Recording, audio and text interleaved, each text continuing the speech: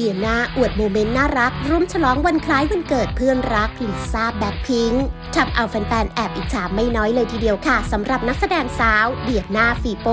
ที่รู้กันดีว่าเธอเป็นอีกหนึ่งเพื่อนสนิทของไอดอลระดับโลกสายเลือดไทยลิซ่าและลิซ่ามโนบาล หรือลิซ่าแบ็คพิงค์และมักจะมีโมเมนต์น่ารักน่ารักทุกครั้งที่ได้เจอกัน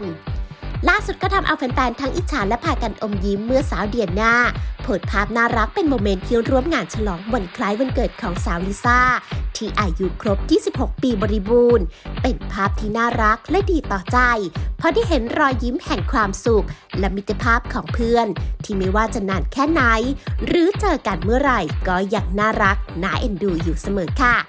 งานนี้แฟนๆเองก็ไม่พลาดที่เข้ามาคอมเมนต์อวยพรวันคล้ายวันเกิด ให้กับสาวลิซ่ากันอย่างล้นหลามด้วยค่ะ